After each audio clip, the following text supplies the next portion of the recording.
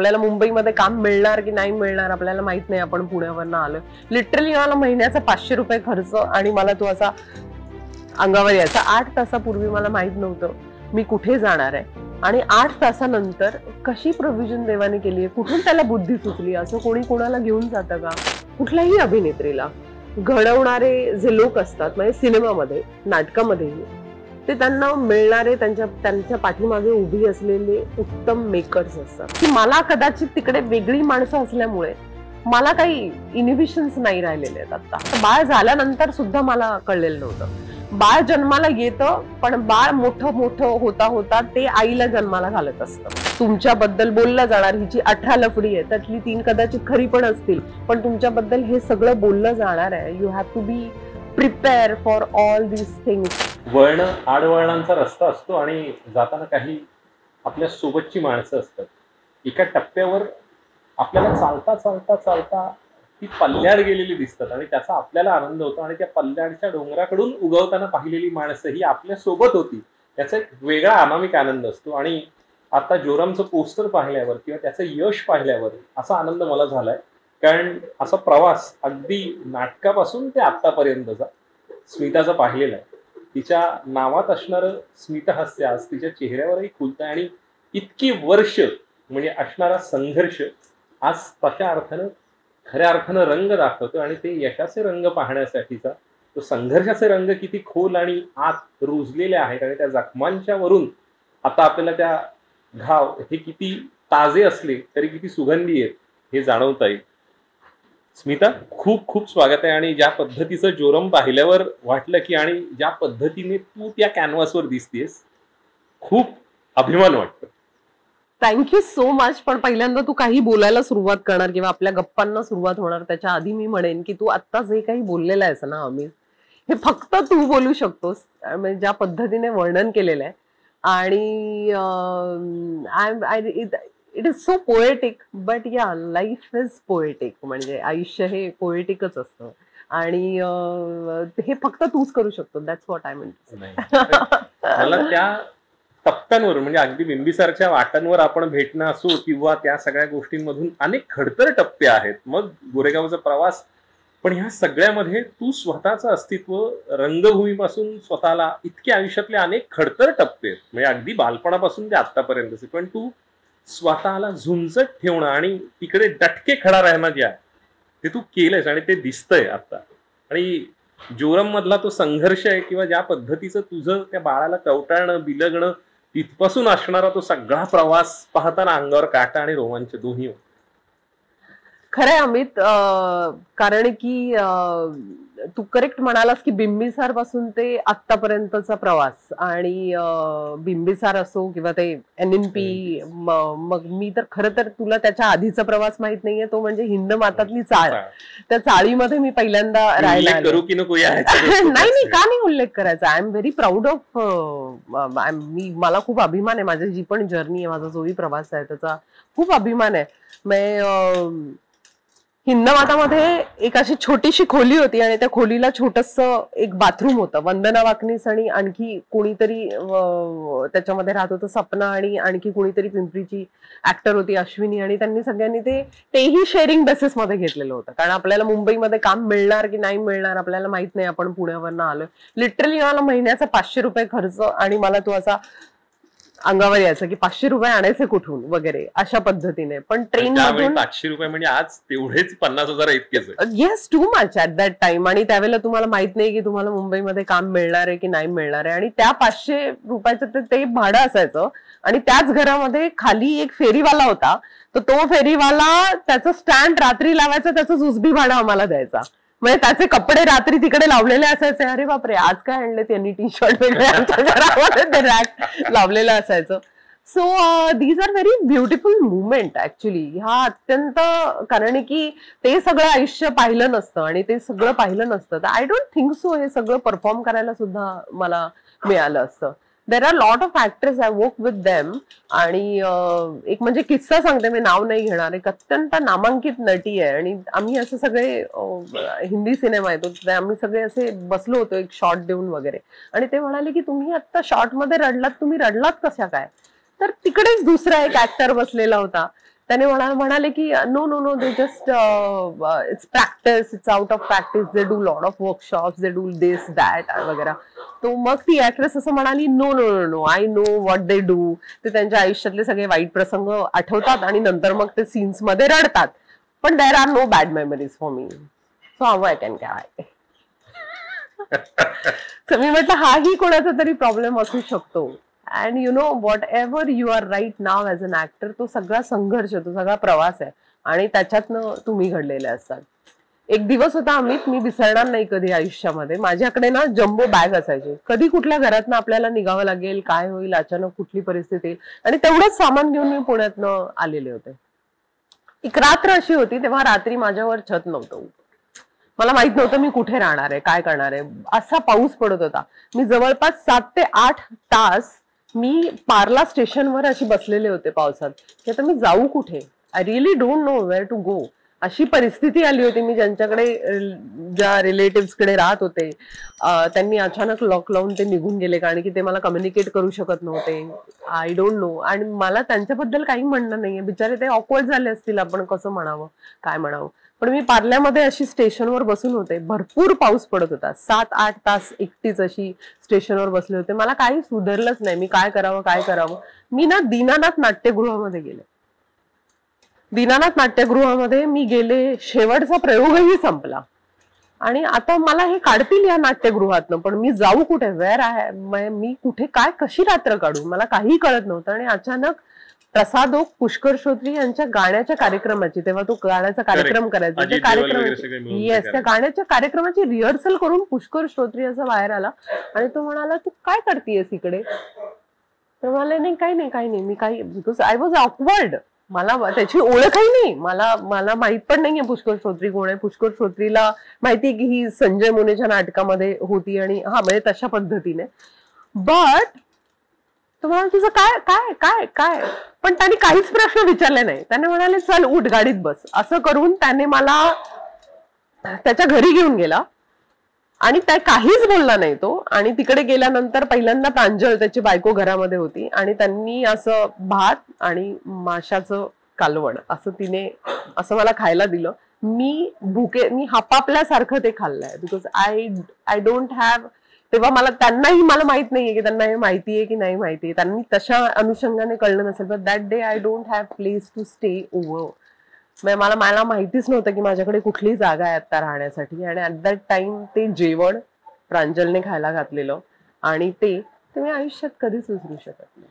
So whole day मी असा विचार करत होते की सहा तास आठ तासापूर्वी मला माहीत नव्हतं मी कुठे जाणार आहे. आणि आठ तासानंतर कशी प्रोव्हिजन देवाने केली आहे कुठून त्याला बुद्धी सुचली? असं कोणी कोणाला घेऊन जातं का? आणि कुठून कोणाला कसं सुचलं? आणि this happen I really don't know man मला माहीत नाही.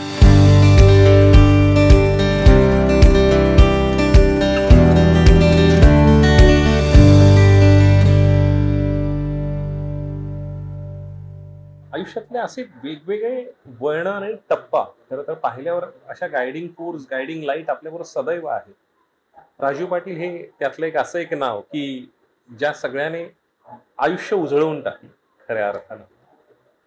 आज जोरम बघायला राजीव असता तर त्याला किती आनंद झाला असता सांगता येत आय तुझा विश्वास बसणार नाही. मी खरं सांगू जेव्हा मी जोरम सिनेमाचं शूटिंग करत होते ना त्यावेळेलाच रादर माझ्या कुठल्याही सिनेमाचं मी जेव्हा शूटिंग करते ना त्यावेळेला मी एक ग्रॅटिट्यूड एक्सप्रेस करते. कारण की अभिनेत्री म्हणून जे काही मला एक्सप्लोअर करायचं आहे किंवा हे सगळं असं एक्सप्लोअर करायला ची करण्याची जी बुद्धी आहे किंवा अशा पद्धतीने एक जो गायडन्स आहे ना तो कुठेतरी सबकॉन्शियस लेवलला सतत मला असं वाटतं की इट इज ऑलवेज राजीव असतं तर आत्ता त्याने काय सांगितलं असतं? राजीव असतं तर आत्ता त्याने काय केलं असतं? असं सतत वाटत राहतो आम्ही. जोरमचं जेव्हा पहिलं स्क्रीनिंग मी मामी फेस्टिवलला पाहिलं तेव्हा मी एकतर ओव्हरवेल्ड होते. कारण की ज्या पद्धतीने स्क्रीनिंग पाहिल्यानंतर कारण मी पहिल्यांदा फिल्म पाहिली तीच डायरेक्ट ऑडियन्समध्ये जाऊन पाहिली. मी जेव्हा ती फिल्म पाहिली ना Amit I was so shocked मी लोकांच्या रिॲक्शन्स आणि हे सगळं बघून वगैरे वगैरे आणि मला सारखं असं यू विल नॉट बिलीव्ह आत्ता खुर्चीत बसला असता पाठीमागे. कुठल्याही खुर्चीत तो बसलेला असेल आणि बसला असता आणि बघून त्याने कुठली रिॲक्शन दिली असती बघितल्यानंतर. I always miss him but आता हे जे मिस करणं आहे ना ते ब्युटिफिकेशनमध्ये कन्वर्ट झालेलं आहे. आता इट इज ऑलवेज म्हणजे मला असं वाटतं की आता माझ्या सबकॉन्शियस माइंडमध्ये अभिनेत्री म्हणून चालत आलेला प्रवास आहे ना तो खरं तर त्याच्या थ्रू कुठेतरी चॅनलाइज होतोय की काय हे माझंच सबकॉन्शियस माइंड डिझाईन करतं. And now this is happening this you know आता हे सगळं घडत असतं. आणि आय हॅव ट्रिमेंडस ग्रॅटिट्यूड म्हणजे मला असं वाटतं की कुठल्याही अभिनेत्रीला आय फील रिअली ब्लेस्ड की कुठल्याही अभिनेत्रीला घडवणारे जे लोक असतात म्हणजे सिनेमामध्ये नाटकामध्येही ते त्यांना मिळणारे त्यांच्या त्यांच्या पाठीमागे उभी असलेले उत्तम मेकर्स असतात उत्तम टीम असते. विदाउट टीम विदाऊट मेकर तुम्ही इंडिव्हिज्युअल असं म्हणाल की हो मी आहे. नाही it is not going to possible कारण प्रत्येक प्रोजेक्ट तुम्हाला अभिनेत्री म्हणून काही ना काहीतरी देत असतं आणि ते काहीतरी तुम्ही संचित आतमध्ये ठेवता आणि मग पुढच्या कुठल्या तरी पायरीवर त्याचा काहीतरी वेगळ्याच पद्धतीने एक्सप्लोरेशन करून रिकामे होता. हा व्यवहार जितका वाढत जातो ना तितके तुम्ही दिवसेंदिवस वृद्धिंगत होत जाता. कुठलेही कलाकार म्हणून ते कुठल्याही कलाकाराच्या बाबतीत असो पेंटिंग करणारा असो कोणी सुद्धा असो you know it is it is always about the chain जी तुम्ही विणताय ना जी साखळी. फक्त एवढंच आहे की तुम्ही तिला किती ब्युटिफुल विणताय. काय चूज करताय? तुम्ही तशा अर्थाने तू खूप पारखी आणि खूप नेमकं मोजकं असं करणारी आहेस अशा वेळेला दोन इंडस्ट्री खूप जवळून पाहिलेस म्हणजे अगदी मराठीत काम करणं किंवा आता हिंदीत आहे. अगदी काय बेसिकली तफावत फरक किंवा ही खूप गोष्ट चांगली आहे किंवा ही आपण स्वीकारायला हवी असं वाटतं ॲज अन इंडस्ट्री मला मेकिंगच्या बाबतीत म्हणशील तर हो थोडीशी पैशांची थोडीशी फरक असल्यामुळे तिकडे तशा अर्थाने एक वेगळ्या पद्धतीची ब्रीदिंग स्पेस असते. पण तीही देवाशिष मखीजा सारखा डिरेक्टर आहे ना तो सगळं तोडून काढतो. तो अत्यंत कॉम्पॅक्ट बजेटमध्ये सिनेमा बनवतो. तो खऱ्या अर्थानं तिकडच्या भागातला अत्यंत कॉम्पॅक्ट सिनेमा असतो. त्यांनी शूटिंग अठ्ठावीस दिवसाचं केलेलं आहे पण त्याच्यासाठी प्रेप जे आहे ते जवळपास म्हणजे साडेतीन वर्षाचा केलेला आहे. ऍक्टर्स बरोबरचं प्रिपरेशन आहे तो बरोबर घालवलेला काळ आहे तो जवळपास दोन ते अडीच महिन्याचा आहे. डिगरस ऍक्टर येऊन बसतात त्याच्या ऑफिसमध्ये जॅमिंग सेशन्स होतात. या सीनला एक्झॅक्टली काय होईल काय होईल? जी ऑनगोईंग वर्कशॉप असतात जे फिजिकल वर्कशॉप असतात त्याच्यामध्ये लिटरली सेट दोऱ्यांनी उभा केलेला असतो. आणि तिकडे गेल्यावर आपल्याला वेळ नाहीये त्यामुळे तुम्हाला सगळं नवीन वाटेल. But yeah this is this is the geography of your house he history आहे तुमच्या कॅरेक्टरची या सगळ्या गोष्टी. म्हणजे लिटरली देवाशिषमुळे असेल कदाचित की मी लिटरली माझा जो इमोशनल ग्राफ आहे कुठलंही पात्र आल्यानंतर माझ्या डायरीमध्ये ना अशी माझी एक डायरी आहे. त्याच्या डायरीमध्ये ना त्या पात्राचा प्रवास असतो. मग त्याने वयाच्या सातव्या वर्षी एक कुठलं तरी दुधाचं भांड सांडलं होतं. म्हणून त्याच्याकडे या व्यक्तीने असं बघितलं होतं. त्याच्या आतमध्ये ते एक कॉन्शियस होणं डेव्हलप झालं होतं. इथपासूनच्या सगळ्या छोट्या छोट्या मायन्यूट गोष्टी त्याच्यामध्ये लिहिलेल्या असतात. काही असतील उदाहरणार्थ. पण मला जो फरक वाटतो की पैशांचा डेफिनेटली आहे वगैरे पण मला जो फरक वाटतो तो आहे अप्रोचचा आहे. एक फार वेगळ्या पद्धतीचा अप्रोच आहे. वास्ट असल्या कारणानं जजमेंट्स एकमेकांबद्दलचे खूप कमी असतात जे मी इथे पाहते. They are not judgmental they are ready to experiment म्हणजे मी ज्या लोकांबरोबर काम केलेलं आहे. देवाशीष सारख्या दिग्दर्शकाने माझ्यासारखी मराठी तो आरामात म्हणाल झारखंडी बॅकग्राऊंड आहे झारखंडचं आहे. तिथली कुणीतरी नटी कास्ट करा. म्हणजे प्रवास सोपा होईल किंवा काय. नाही पण त्याने मला तीच नजर तीच भेदक नजर मला तिथे तीच अपेक्षित आहे. So I want to cast her for this आजीमध्ये त्याने मला पाहिलेलं असतं- होतं. आणि आजीमध्ये म्हणजे एका रिसेंट इंटरव्ह्यू मध्ये असं म्हणाला की आजीमध्ये स्मिताजींनी काम केलं आणि मला असं लक्षात आलं की मी त्यांना न्याय देऊ शकलेलो नाहीये. सो इतकं ते ठेवणं आणि नंतर पुढे जाणं हा मी घेतलेला एक्सपिरियन्स हा माझ्यासाठी फार वेगळा होता. दिस इज व्हेरी डिफरंट पण इंडस्ट्री म्हणून जे मी तुला म्हणेल ना की तो काय म्हणू ते इतका फरक या दोन ह्याच्यातला मी तुला सांगेन. की मला कदाचित तिकडे वेगळी माणसं असल्यामुळे मला काही इनिबिशन्स नाही राहिलेले आहेत आता. मला आता मी फार बेफिक्री झाली आहे त्या अर्थाने कोण माझ्याकडे बघून काय म्हणतंय कोण माझ्याकडे बघून काय विचार करेल. मी असं करून बघितल्यानंतर एक हिने हे काय केलं? असं काहीतरी कोणीतरी बोलेल की काय? ह्याच्यामध्ये मी बेफिक्री झालेली आहे. For for me it is a different kind of exploration आत्ता मला कुणाकडे मी स्वतःहून काम मागायला जाते म्हणजे मी लहान आणि मी कुणाकडे तरी काम मागते म्हणून तो मोठा अशातले फरक माझ्यामध्ये आता राहिलेले नाहीये. मला हळूहळू धुसर झालेल्या आहेत. मी कुठेतरी हिंदीमध्ये काम करत असताना बॉस मी मराठीतनं आलेली आहे. आय एम हिअर असं असं पद्धतीने काम केलंय. मला माहितीये मी एका वेगळ्या भागात चाललेली आहे. तर मला शून्यातनच प्रवास करायला पाहिजे. मला आतमध्ये कधीतरी छेदणार आहे. इथे येतो तू आहेस आणखी लोक आहेत. काहीतरी reporter they know me they know about my work पण तिथे जाईन तिकडे त्या लोकांना माहीत नाहीये. तो yeah I have to face it I have to मला माझ्या बुद्धीला आणि माझ्या मला मेंदूला आणि शरीराला माझ्या विचारांना त्या पद्धतीने मला ट्रेन केलं पाहिजे. हे सगळं माझं त्याच्या आतमध्ये घडलेलं आहे. कुठला कास्टिंग डिरेक्टर आहे? नवीन आहे तो. नाही आहे अवेअर माझ्या कामाच्या बाबतीत. मी काहीतरी बहात्तर मैल एक प्रवास फिल्म केलेली आहे. मी जोगवा केली आहे. मी पांगिरा केली आहे. मी गणवेश केली आहे. त्याला नाही माहिती आणि त्याला काही घेणं देणं नाहीये.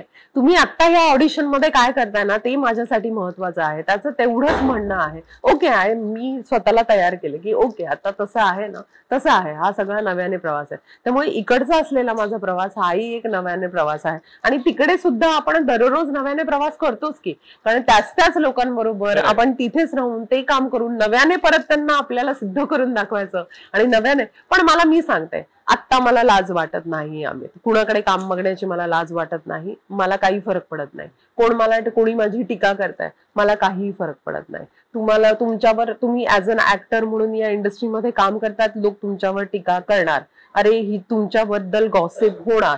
तुमच्याबद्दल बोललं जाणार. हिची अठरा लफडी आहे त्यातली तीन कदाचित खरी पण असतील. पण तुमच्याबद्दल हे सगळं बोललं जाणार आहे. You have to be prepare for all these things कारण ऍक्टर फक्त अभिनय हा एक वेगळा आहे आणि त्याच्या बाजूचं वातावरण हे एक वेगळं आहे.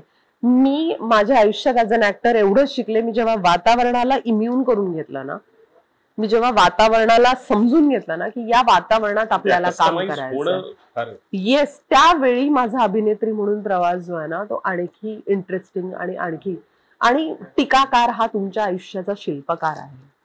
हे लक्षात ठेवायचं आहे माणूस तुमच्यावर टीका करतोय ना म्हणजे तुमचं काहीतरी एक शिल्प घडणार आहे हे तुम्ही हजार टक्के लक्षात घेऊ हे ज्या क्षणी मला कळलं ना त्या क्षणी मला हुरूप आला. म्हणून मला माझ्या आयुष्यातले संघर्ष कोण माझ्याबद्दल काय बोलतंय कुठे काय घडतंय I don't even care about it Amet कोण कुठल्या तरी कोपऱ्यात काहीतरी होत आहे. मला I don't care about it आणि त्यांना पण मी जाणून घ्यावं ह्याच्यामध्ये काय इंटरेस्ट आहे? Everyone is living their life यार. Everyone is surviving in this industry in this world आपलं जगणं हे एक सर्व्हायवल आहे. अशा कंडिशनमध्ये कुणाला तरी काय पडलंय कुणाच्या तरी आयुष्याचं आणि मला तरी का पडावं कुणाच्या तरी आयुष्याचं? निश्चित. या सगळ्यामध्ये बहात्तर मैल एक प्रवास सारखा एक सिनेमा त्यानंतर एक आयुष्यातला महत्त्वाचा टप्पा म्हणजे तुझं मातृत्व.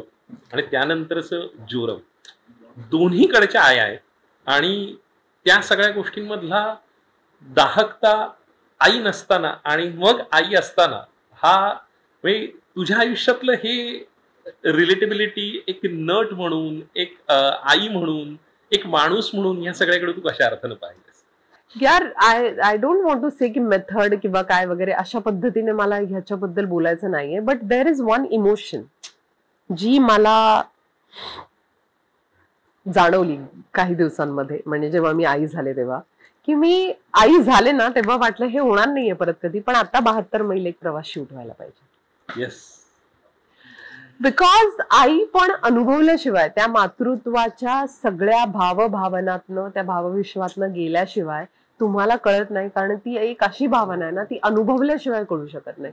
ती कुठली मातृत्वाला डिफाईन करणारी कुठली कविता झाली नाही मातृला मातृत्वाला डिफाईन करणारा कोणी सुंदर लेख लिहू शकला नाहीये ना कोणी निबंध लिहू शकलेला नाहीये ना कोणी पेंटिंग काढू शकलेलं आहे. त्याच्या जवळपास असणारं कोणीतरी काढू शकेल पण ते फिलिंग एक्सप्रेस करणारं कुठलंही दुसरं साधन नाहीये. It is you are the instrument when you become mother you understood what exactly the motherhood is तुमच्या काळजाचा जो तुमचं तुमचं काळीच तुमचं तुमचं सगळं काही हे काहीतरी आपण क्रिएट केलेलं आहे ही भावना ही.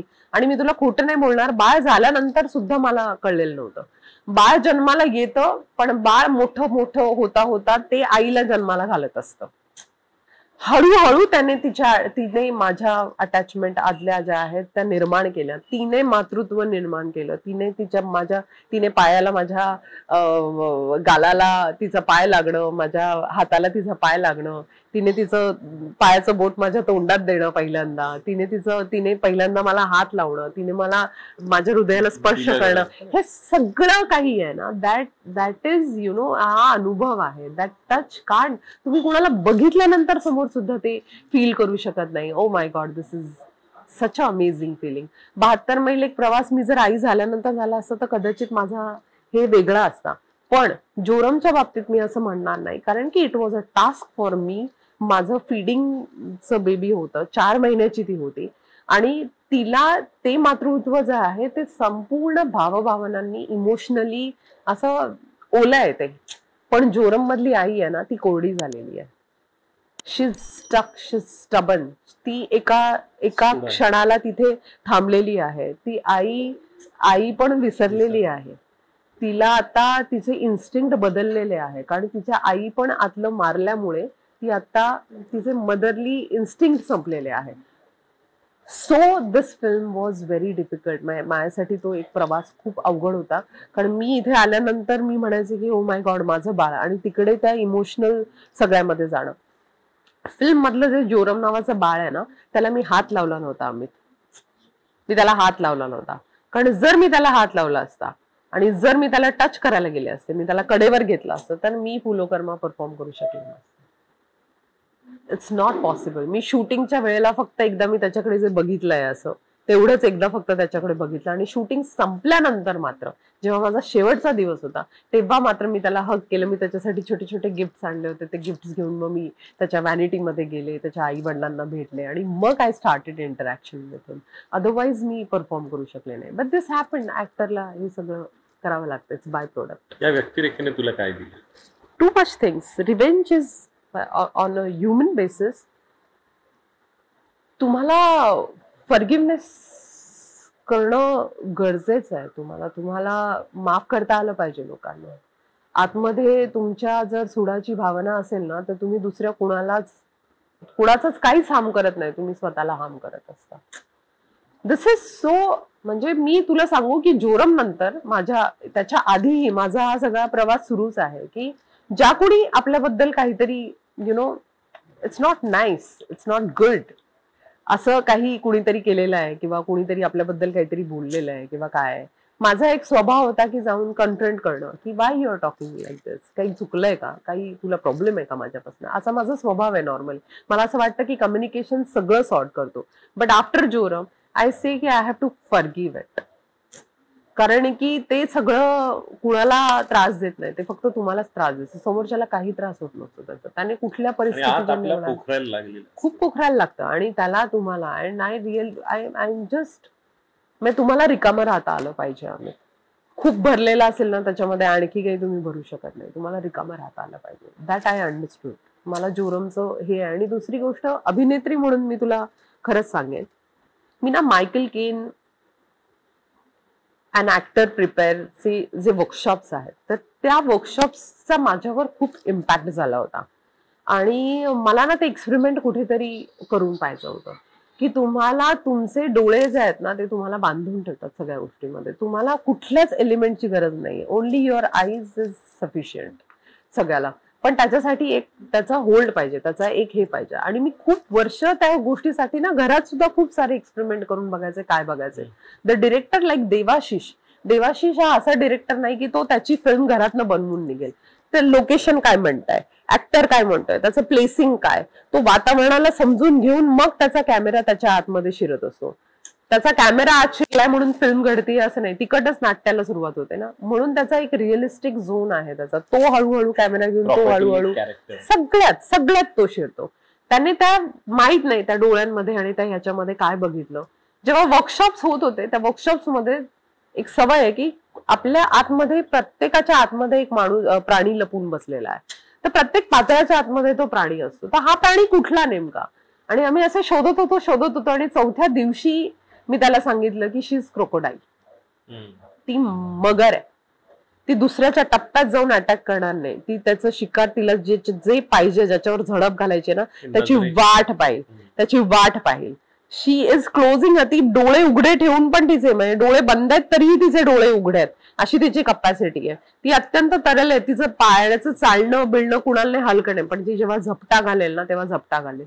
तू पूर्ण फिल्म जर बघशील तर तुला त्याने फ्रेमिंग्स पण अशा मगर डोळे जास्त ठेवलेले आहेत. पूर्ण त्याने त्या मगरीचं तू खाली बघ मी शेवटच्या सीनला अशी वाकून खाली जाते. तर दॅट ते आम्ही दोघांनी ठरवलेलं होतं की आता मगर पाण्यात चाललेली आहे. She is going in water because she now want to attack the हे. आणि नंतर मग ती शेवटची झडप जेव्हा बंदूक येते. I don't want to give spoilers but yeah तर अशा पद्धतीने. तर तो तशा पद्धतीचा एक क्राफ्ट आहे त्या फुलो कर्माच्या बाबतीत जो मला या सिनेमामध्ये एक्सपेरिमेंट करायला मिळाला just because of the you know director and the team त्यामुळे माझ्यासाठी ही फिल्म त्यासाठी खूप खूप स्पेशल ह्या सगळ्याच्या पलीकडे मनोज वाजपेयी झिशान देवाशिष ह्या सगळ्यांबरोबरच तुझं असणं तुला किती अर्थाने समृद्ध करून गेलं?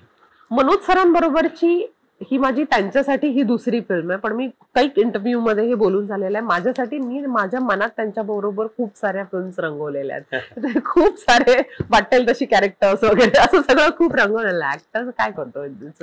ऍक्टरी ऍक्टर खूप वेळा इमॅजिनेटरी वर्ल्डमध्ये बरंच काय काय काय काय त्याच्यासाठी करून जात असतो. आणि तेच त्याचा खुराक आहे.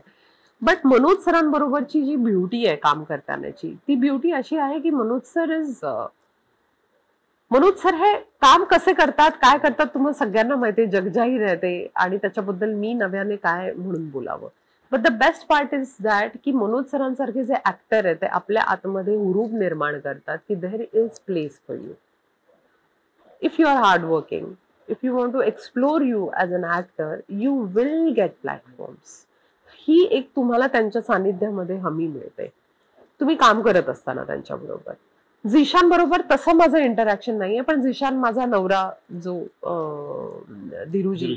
त्यांचे ते सगळे एन एस चे सगळे लोक आहेत रसिका त्यांची त्याची बायको. त्यांची बॅचमेट आहे वगैरे त्यामुळे तशा पद्धतीचं मी आधी भेटलेली आहे आणि तशा पद्धतीचं माझं त्याच्याबरोबर सिनेमामध्ये फक्त आम्ही त्या शेवटच्या सिक्वेन्सला एकत्र आलेलो आहे but I am telling you की these people who are you know जे फार असा वेगळ्या पद्धतीच्या कॉन्टेंट ड्रिव्हन सिनेमामध्ये स्वतःला एक्सप्लोअर करतात स्वतःचं जे वेगळं स्थान मिळवतात हे क- खूप आशाजनक आहे आम्हा सगळ्यांसाठी.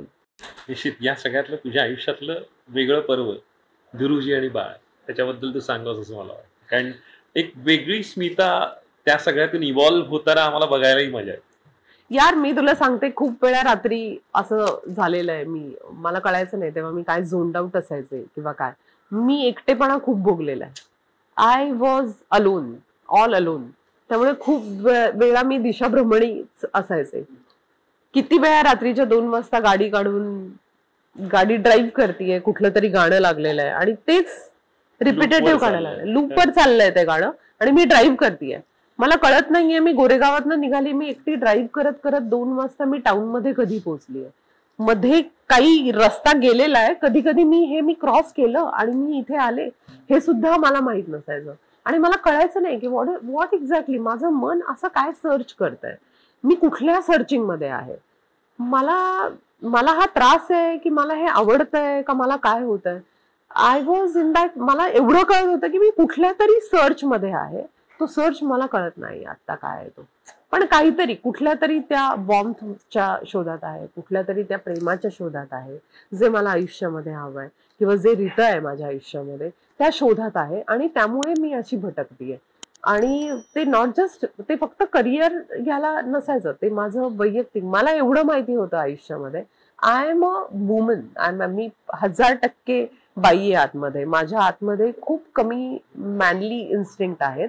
बट ते आता मॅनली इन्स्टिंक्ट म्हणजे जसे पुरुषी तत्व हे जरा जास्त का येत आहेत बाहेर? कारण की I am just killing my woman माझ्या आतल्या वुमन इन्स्टिंक्टला मी किल करते आणि हा माझ्यासाठी युरेका मुवमेंट होता अमित. मी ती फिरायचे माझा तो शोध कुठला आहे? मला काय अस्वस्थ करतंय? मला कळायचं सुद्धा नाही. मी संदीप पाठकमध्ये भेटला होता एका कार्यक्रमात तेव्हा मी त्याला सांगितलं की तुला अवॉर्ड मिळालं तर कसं वाटलं ग स्मिता? काय वाटलं? मी म्हटलं हे बघ why this award is beautiful for me state award constant तीन वर्ष तीन वेळा आपल्याला मिळालंय. पण जेव्हा गाडी चालवायचं ना तेव्हा रिकामी खुर्ची बाजूला असायची. आणि त्या रिकाम्या चेअरवर ते अवॉर्ड ठेवायचे. गाणं लावलेलं असायचं. सपनू से भरे ना नदी है ना चेना. असे करून ते गाणं लावलेलं असायचं. टोटल फिल्मी वातावरण. आणि गाडी चालवायचे आणि त्या अवॉर्डकडे बघायचे. आणि म्हणायचं yeah I got it but something is missing मला नाही कळायचं की काय मिसिंग आहे. बट वेन धीरूजी माझ्या आयुष्यामध्ये आले ना तेव्हा मला असं लागलं ज्या कंप्लीट पुरुषाची मला मला ओढ होती मला शोध माझा चालू होता तो पुरुष मला I got it finally who will compliment with my you know माझं माझं माझं करिअरिस्टिक करिअर ओरिएंटेड असणं यालाही कॉम्प्लिमेंट करेल. माझ्या आतमधल्या हाऊसवाईफ इन्स्टिंक्टलाही ते सॅटिस्फाईड करेल. कॉम्प्लिमेंट कॉम्प्लिमेंट करेल.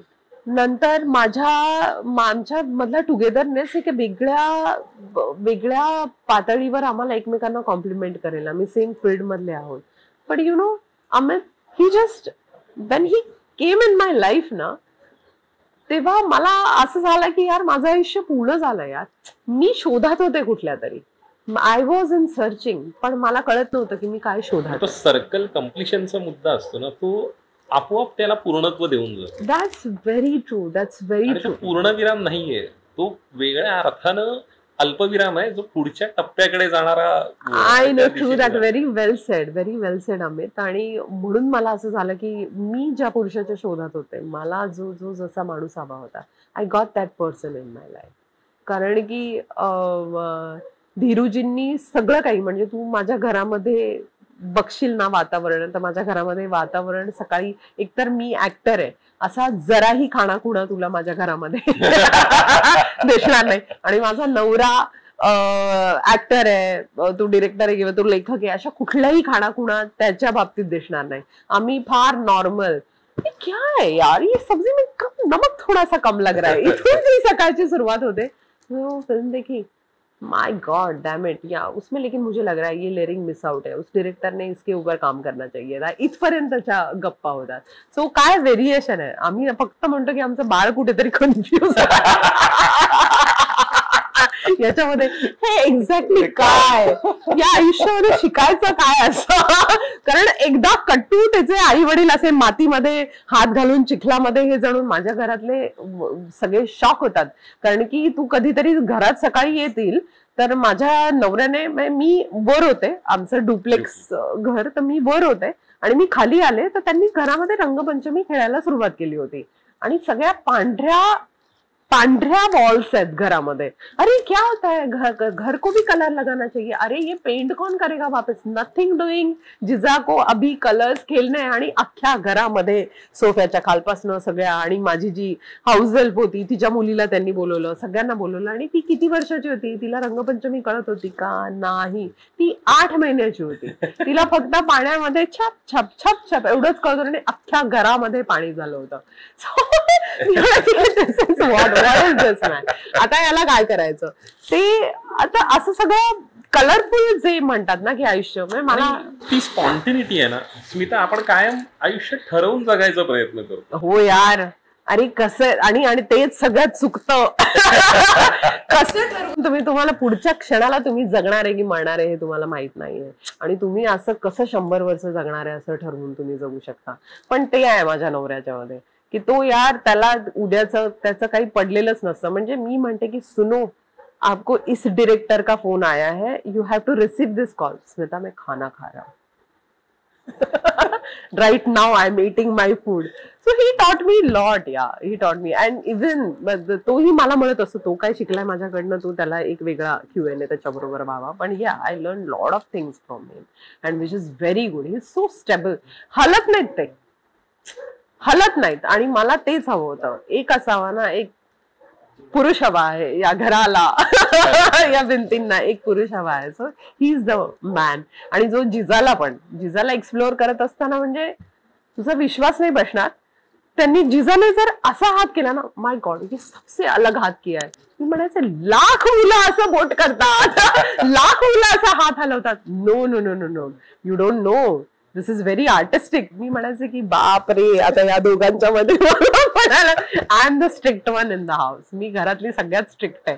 म्हणजे दोघंही मग घाबरतात. एकदा पारस अटकला की नाव यू तुम्ही दोघांनी शांत बसायचं. पण ते लगेच एका बेडरूममध्ये लॉक लावून आतमध्ये त्यांचं काहीतरी चालू होतं नाव आय वॉन्ट माय स्पेस मग एका बेडरूममध्ये कोपच्यात वाजलेलं आहे पूर्ण घरामध्ये आय वॉन्ट माय स्पेस अशी अडून करत असं पण this is what life should be colour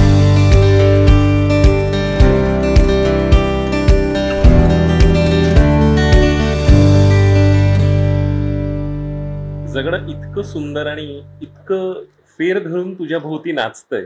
या म्हणजे असंच कायम राहावं. Wish you love luck and success Smita. कारण ह्याच्यातून प्रवास वेगळ्या अर्थानं सुरू असतोच आपला. पण तो आनंददायी असावा. डेस्टिनेशनपेक्षा त्या प्रवासातली गंमत जी आहे त्या सगळ्यामध्ये तुझी तू तुला सापडत राहावी यासाठी खूप साऱ्या शुभेच्छा. Amit thank you so much for this I am telling you one thing ज्याने मला असं वाटतं की हे वाइंड अप व्हावं. मला असं वाटतं की आयुष्यामध्ये काम आणि घर या दोन गोष्टींचा बॅलन्स साधता आला पाहिजे. यश समाधान आणि आनंद एकमेकांच्या हाताला हात घालून जर आपल्या घरामध्ये येतात ना किंवा आपल्या जवळ येतात ना तेच खऱ्या अर्थानं मी सांगते की अल्टिमेट आयुष्याचं हे आहे.